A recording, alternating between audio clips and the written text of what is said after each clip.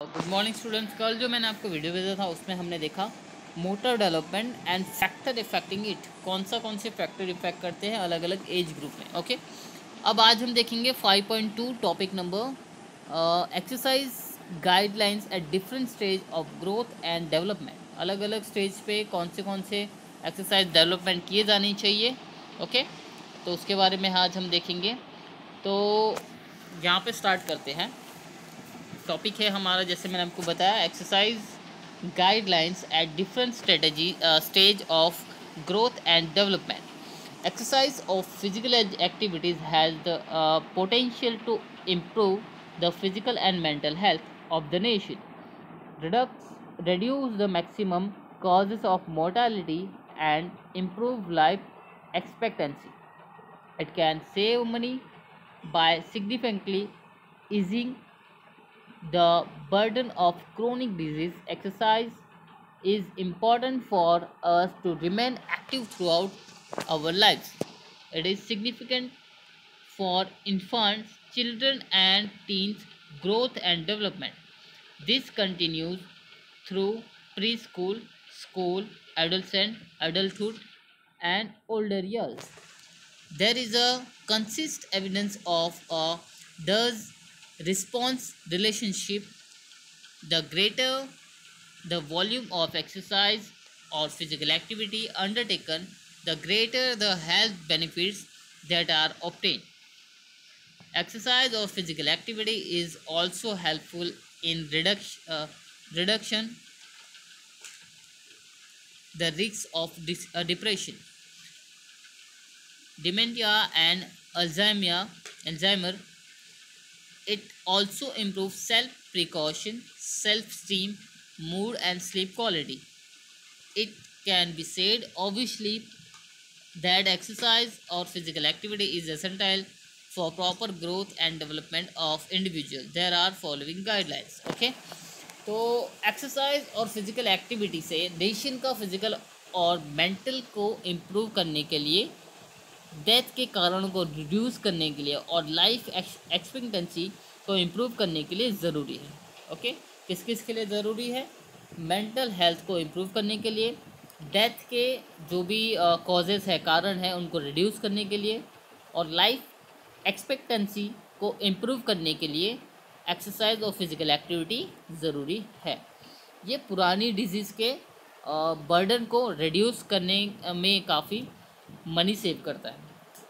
Through throughout अपनी life में active रहने के लिए एक्सरसाइज बहुत ज़्यादा इंपॉर्टेंट है। ये इन्फांट यानी शिशु चाइल्ड जो होते हैं चिल्ड्रन और टीनेजर के ग्रोथ और डेवलपमेंट के लिए इंपॉर्टेंट है। ये प्री स्कूल और स्कूल एडोलसेंट एडल्टहुड और ओल्डर ईयर तक थ्रू आउट कंटिन्यू रहता है। ये self precaution self esteem mood और स्लीप की क्वालिटी को इम्प्रूव करता है। ये कह सकते हैं कि एक्सरसाइज और फ़िज़िकल एक्टिविटीज़ प्रॉपर ग्रोथ और डेवलपमेंट के लिए बहुत ज़रूरी है। डेवलपमेंट के लिए अलग अलग स्टेज है ओके अलग अलग स्टेज यहाँ पे बताए गए हैं। यहाँ पे stage of growth and development okay तो पहला है इन्फेंसी जो ज़ीरो टू टू ईयर्स का है। तो हम कितने स्टेज है यहाँ पे? Infancy early childhood middle childhood late childhood adolescent adulthood and old years okay तो सेवन स्टेज है यहाँ पे. तो सेवन स्टेज हम देखेंगे. इन्फांसी यहाँ पे स्टार्ट करते हैं.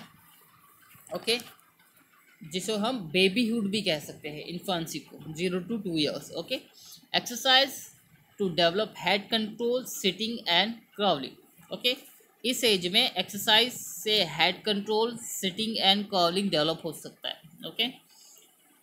Gross motor activity should be promoted gross motor activity को uh, बढ़ावा देना इस इस टाइम इस एज में होता है okay exercise for moving arm leg reaching to object okay arm को मूव करने की एक्सरसाइज लेग किसी भी लेग किसी भी ऑब्जेक्ट के रीच कर पहुँचना ओके हम uh, देखते हैं कि इस एज में हमारे घर पे या इंडियन कल्चर में मालिश का एक चलता है कि बच्चे को मालिश करनी ज़रूरी है।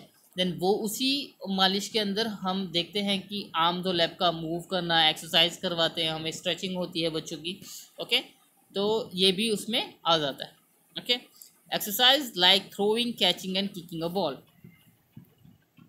throwing catching और बॉल को किक करने जैसी एक्सरसाइज करवाना है। जैसे छोटे बच्चे को आप देखते ही हैं कि आप बॉल पकड़ा के फेंकना बोलते हैं या कुछ भी तो इस एज में ज़ीरो टू टू ईयर्स में ये सब धीरे धीरे डेवलप होता है ओके अब बात करते हैं अर्ली चाइल्डहुड की।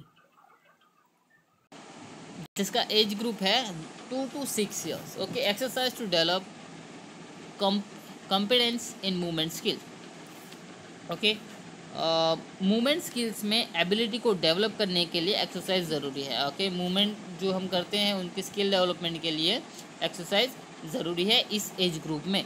Emphasis on participation not a competition okay competition पर नहीं, पर ज़्यादा करके पार्टिसिपन पार्टिसिपेशन पर ज़्यादा फोकस दिया जाता है इस एज ग्रुप में। इस ग्रुप एज ग्रुप में जीतने के लिए ज़्यादा फोकस नहीं, पर आपको पार्टिसिपेशन के लिए ज़्यादा मोटिवेट किया जाता है। आजकल के जैसे हम प्री स्कूल में इस टाइम पे होते हैं, या हम हमारे जो भी स्कूल में होते हैं, उस टाइम पे आपको अलग अलग एक्टिविटी में पार्टिसिपेशन कराया जाता है। जैसे आप दो से छः साल के अंदर हो, अगर आप चार साल के तो पाँच साल के हो तो आपको योगा कराया जाता है रनिंग करवाई जाती है अलग अलग स्किल सिखाई जाती है ओके तो आपको जीतने के लिए नहीं कंपटीशन में पार्ट लेने के लिए नहीं कराया जाता है, वो आपको सिर्फ़ पार्टिसिपेट कराया जाता है, ताकि आप वो एक्टिविटी को एन्जॉय कर सके और आप अलग अलग स्किल्स सीख सकें।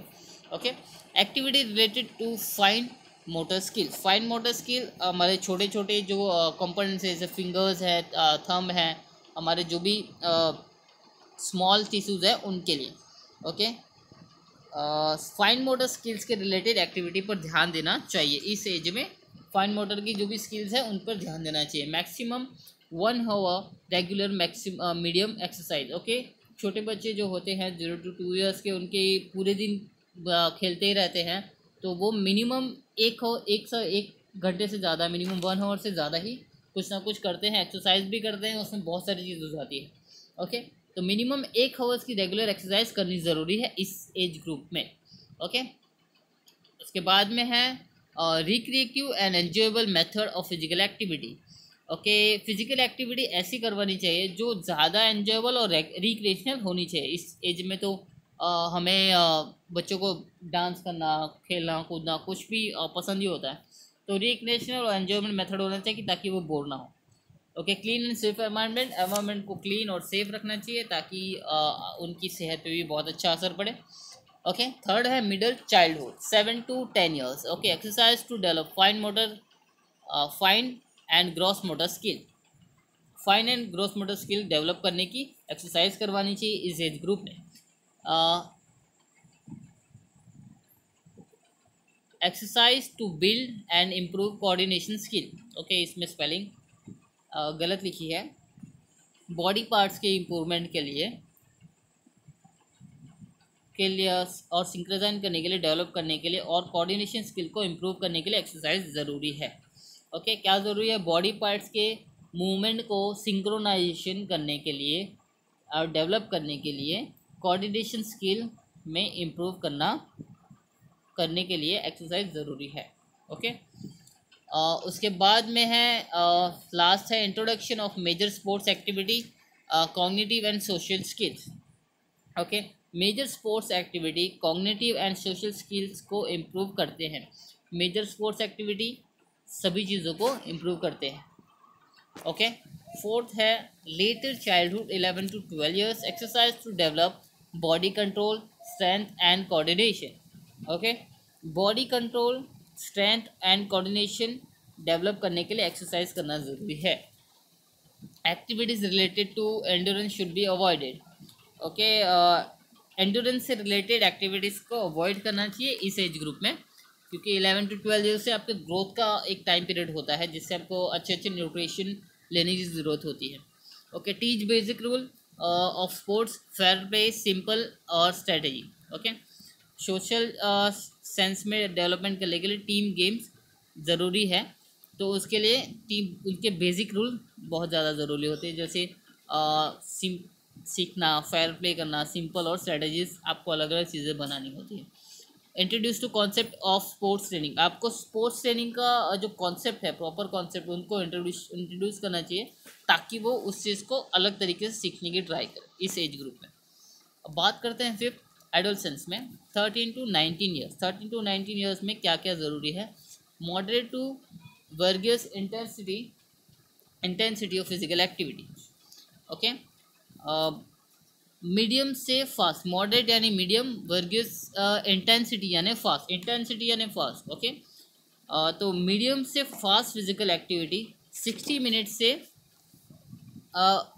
सिक्सटी मिनट और उससे ज़्यादा रेगुलर एक्टिविटी करनी चाहिए ओके छोटी जो होती है एक्टिविटी आप धीरे धीरे स्टार्ट करेंगे देन फ़िज़िकल एक्टिविटी हमारी फास्ट हो जाती है ओके तो ये करना चाहिए और आपकी जो एक्टिविटी होगी sixty minute to several hours every day okay sixty minute से ज़्यादा की एक्टिविटी रोज़ करनी चाहिए ताकि आपकी बॉडी के जो मसल्स हैं, वो ज़्यादा स्ट्रेच हो सके और आपकी बॉडी का ग्रोथ बहुत अच्छा हो सके। Muscle strengthening exercise at least three time a week okay muscle strengthening के लिए एटलीस्ट वीक में तीन टाइम एक्सरसाइज करना ज़रूरी है ताकि आपकी बॉडी बहुत अच्छे से डेवलप हो okay bone strengthening exercise and resistance exercise by weight training okay bone को स्ट्रॉन्ग uh, करने के लिए uh, बना स्ट्रॉन्ग बनाने के लिए वेट ट्रेनिंग करनी चाहिए इस एज में और रेसिस्टेंट ट्रेनिंग करनी चाहिए। रेसिस्टेंट ट्रेनिंग जो रनिंग के हिसाब से होगी और वेट ट्रेनिंग जो हमारे बॉडी का uh, अलग तरीके के बोन की हमारे स्ट्रेंथ को बढ़ाती है okay running swimming etcetera for stamina building okay stamina building के लिए रनिंग और स्विमिंग करनी चाहिए। ओके okay, आप ज़्यादा से ज़्यादा जो अगर आप ज़्यादा रनिंग करते हैं everyday thirty to forty minutes एक दिन में आप रनिंग करते हैं तो आपका स्टेमिना बिल्ड होता है। और स्विमिंग ऐसी एक्सरसाइज है जो आपके बॉडी के सभी पार्ट को ज़्यादा से ज़्यादा एक्टिव रखती है और आपके बॉडी की स्टेमिना बढ़ाती है। ओके अब सिक्स है adulthood adulthood ninety to sixty years okay moderate intensity physical every every day okay intensity आएगा यहाँ पे। एवरी डे मीडियम और फास्टर फ़िज़िकल एक्टिविटी करनी चाहिए। इस एज में नाइन्टी टू सिक्सटी ईयर्स में आपकी बॉडी जैसे जैसे एज बढ़ती जाती है, आपकी बॉडी की कंडीशन वैसे वैसे अलग होती जाती है। आप धीरे धीरे आपके वॉइस चेंज हो जाती है, आपके बॉडी का शेप चेंज हो जाता है। पहले आप पतले होते हैं, जैसे जैसे आपका मसल बढ़ने लगता है, आपकी बॉडी का शेप चेंज हो जाता है। तो उस हिसाब से आपको everyday slow and fast exercise करनी ज़रूरी है एवरीडे ताकि आपकी बॉडी मेंटेन रहे और फिजिकली फिट रहे, ताकि आप बीमार ना okay muscle strengthening exercise at least two time a week okay muscles की स्ट्रेंथ बढ़ाने के लिए वीक में एटलीस्ट दो दो दिन एक्सरसाइज करनी ज़रूरी है और बोन्स को स्ट्रॉन्ग बनाने के लिए एक्सरसाइज और असिस्टेंट एक्सरसाइज करनी ज़रूरी है ओके बोन स्ट्रेंथनिंग एक्सरसाइज और असिस्टेंट एक्सरसाइज ओके बोन को स्ट्रॉन्ग बनाने के लिए और असिस्टेंट एक्सरसाइज और वेट ट्रेनिंग करनी ज़रूरी है ओके सेमिनार बिल्डिंग के लिए जैसे मैंने बताया रनिंग और स्विमिंग बहुत ज़्यादा इंपॉर्टेंट है।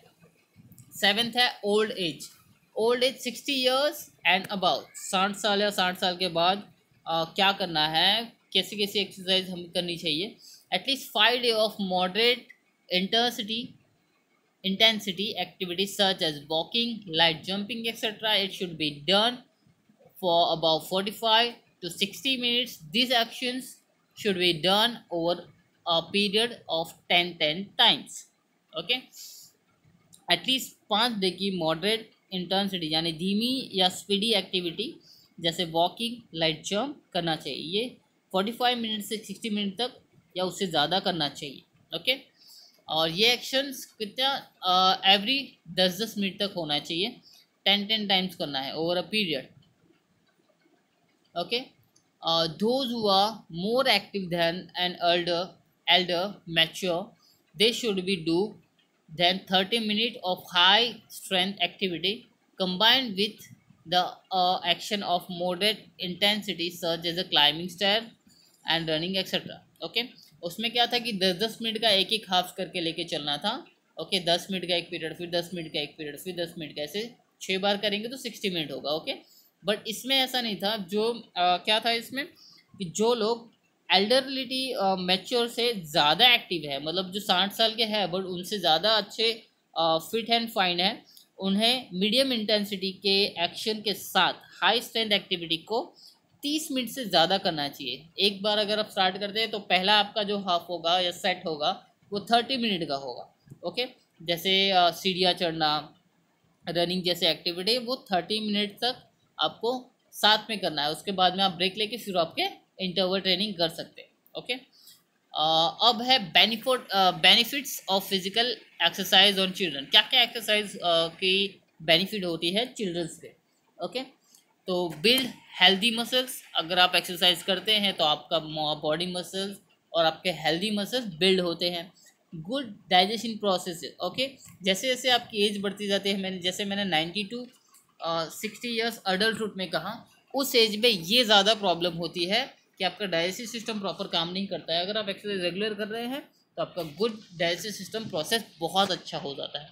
Okay good energy level okay और छोटे जब आप, आप होते हैं जब आपकी चाइल्ड अडल्ट में होते हैं थर्टी टू नाइनटीन ईयर्स में तो उस टाइम पे आपका एनर्जी लेवल बूस्ट रहता ही है हमेशा रहता है ओके बट जैसे जैसे आपका एज बढ़ती जाती है तो आपको थोड़ा सा थकावट महसूस होती है। आप ज़्यादा से ज़्यादा रेस्ट करना चाहते हैं तो उस टाइम पे आपको अपनी बॉडी को ज़्यादा से ज़्यादा स्ट्रेस देना है, ज़्यादा से ज़्यादा उनको तनाव देना है, ताकि वो हमेशा बूस्ट रहे। तो उसके लिए एक्सरसाइज करनी बहुत ज़रूरी है।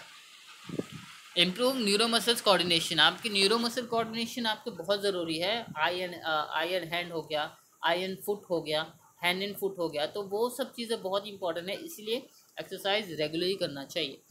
Five strength and lungs strengthening the lungs and heart okay आपके लंग्स एंड हार्ट का जो स्ट्रेंथ है वो बढ़ जाएगा ओके कैसे बढ़ेगा? अगर आप ज़्यादा रनिंग करते हैं तो आपके हार्ट डिज़ीज़ कम होने हार्ट के डिज़ीज़ कम हो जाएँगे, क्योंकि आप अगर एक्सरसाइज नहीं करते हैं तो आपका जो हार्ट जो है वो वीक होता जाता है ओके तो इसलिए आपके, अगर आप एक्सरसाइज करते हैं तो आपका हार्ट एंड लंग स्ट्रॉन्ग हो जाएगा। कंट्रोल हेल्दी वेट ओके अगर आप रेगुलर एक्सरसाइज करते हैं तो आपका वेट नहीं बढ़ेगा, आप ज़्यादा ऑप्सेस नहीं होंगे ओके ज़्यादा फैटी नहीं होंगे। तो इसीलिए आपको एक्सरसाइज रेगुलरली करना चाहिए। ये आपका बेनिफिट्स है।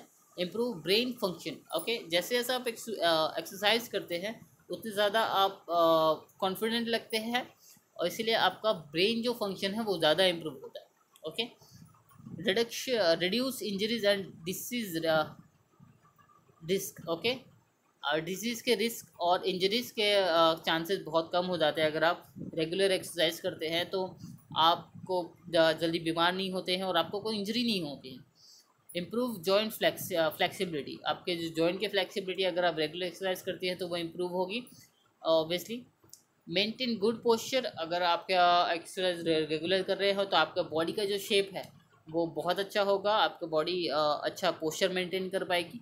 ओके एंड लास्ट लास्ट है strength bone and muscle strength means bone and muscle अगर आप रेगुलर एक्सरसाइज करते हैं तो आपके मसल ज़्यादा स्ट्रॉन्ग होंगे और आपके बोन उतने स्ट्रॉन्ग होंगे। तो आपको फ्यूचर में अगर आप जैसे जैसे एज आपकी बढ़ती जाती है तो आप ज़्यादा वीक नहीं होंगे और आपके बोन स्ट्रॉन्ग है और मसल स्ट्रॉन्ग रहेंगे। तो आप हेल्दी फील करेंगे। तो आज का ये टॉपिक ये फिनिश होता है इसमें। टॉपिक था हमारा exercise guidelines at different stage of growth and development okay तो इस टॉपिक में आपका कोई भी डाउट हो तो प्लीज़ मुझे मैसेज करें. Thank you so much